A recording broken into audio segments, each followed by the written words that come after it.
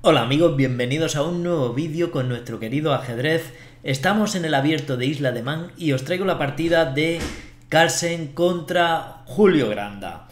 Eh, ¿Qué vamos a decir de Julio Granda? Es un tipo que me cae a mí súper bien, se le ve a leguas de lejos que es una gran persona.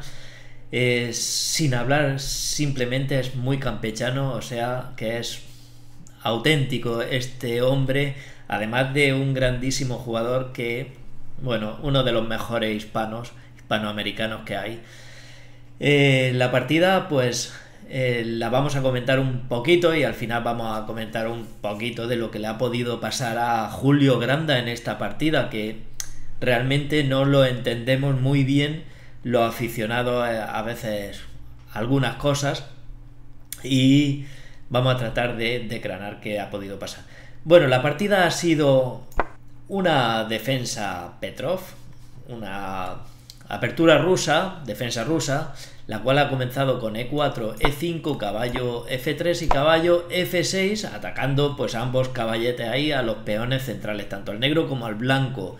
Aquí Carlsen ha jugado caballo por E5 y Granda ha expulsado al caballo con D6 como mandan los cánones.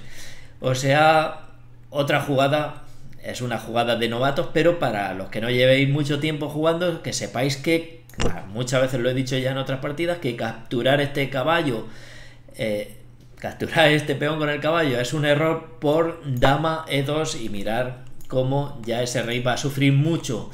Aquí para salvarse un poquito, aunque las blancas quedarían mejor, tendrían que jugar dama e2 obstruyendo su alfil también, pero siempre van a estar mejor la blanca. Y como este caballo está atacado, muchos novatos aquí, después de capturar, después de cometer este error, cometen otro aún más grave que es caballo f6 y aquí viene ya la trampa que, que hay en esta posición, puesto que caballo c6, eh, jaque descubierto y están ganando la dama puesto que si se cubren con la dama, este caballo la, captura igual. O sea que atención aquí en esta posición. Lo que se debe hacer es lo que ha hecho el gran maestro peruano Julio Granda. D6 expulsando a este caballo que lo ha llevado Carlsen, que lleva las piezas blancas, a F3. Luego aquí Granda ya ha capturado, que ahora sí que se puede capturar con todas las garantías y D4 controlando el centro. Ha hecho Carlsen, D5 ya los dos han puesto un peón central, alfil D3 y alfil E7 aquí Julio ya está preparado para el enroque, también Carlsen evidentemente, enroque corto de Carlsen y también de Julio Granda. C4 atacando a ese peón central y aquí caballo F6 ha hecho caballo C3 ha continuado la partida, caballo C6 y C por D5.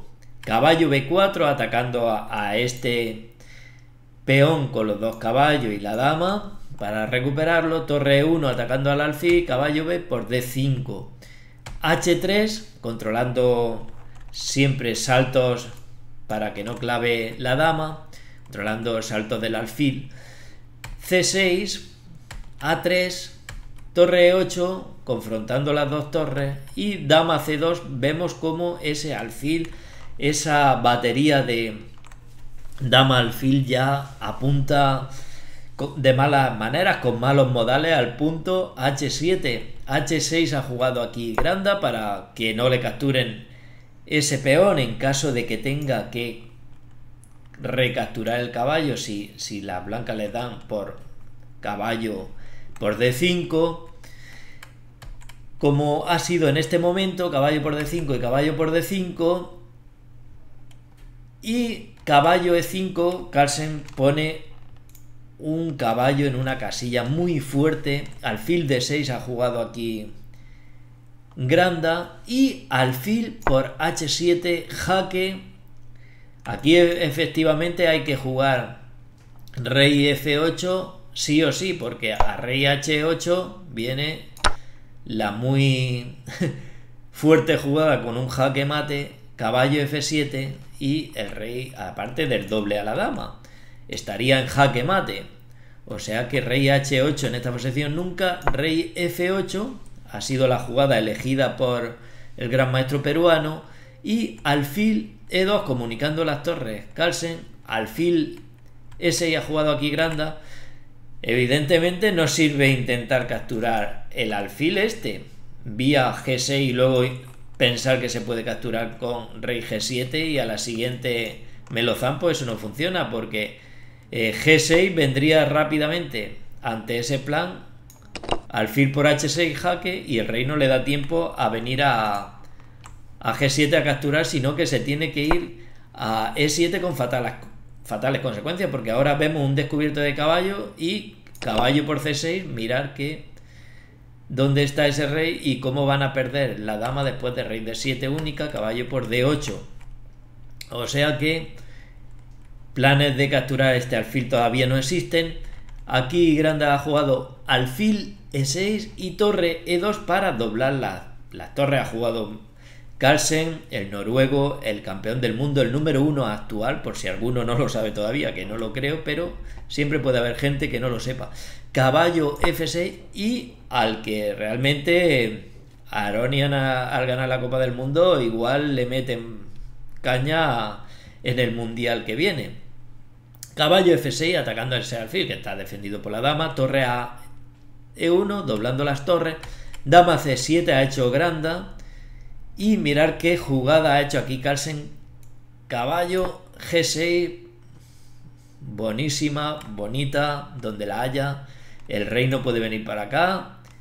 Y aquí está cortado por el caballo, le están dando un jaque, o sea que única capturar F por G6, pero ahora mirar que ese alfil solo lo defiende la torre, puesto que el peón que lo defendía también ha capturado en G6, por lo tanto ahora recapturan, o sea, recuperan pieza, torre por E6, aquí Granda ha jugado caballo por H7 y torre por E8 jaque, torre por E8 y torre por E8, a lo que Granda rey por E8. Y aquí viene cierto que, que tienen un, peón de ventaja, van a conseguir ahora con dama por G6, jaque, ahora recuperan su pieza, rey de 8 ha hecho Julio Granda y dama por H7, a lo que ha contestado dama E7 y G3 de Carlsen, rey C7 y aquí ha hecho dama G6 Carlsen y no se sabe por qué Julio Granda ha abandonado aquí.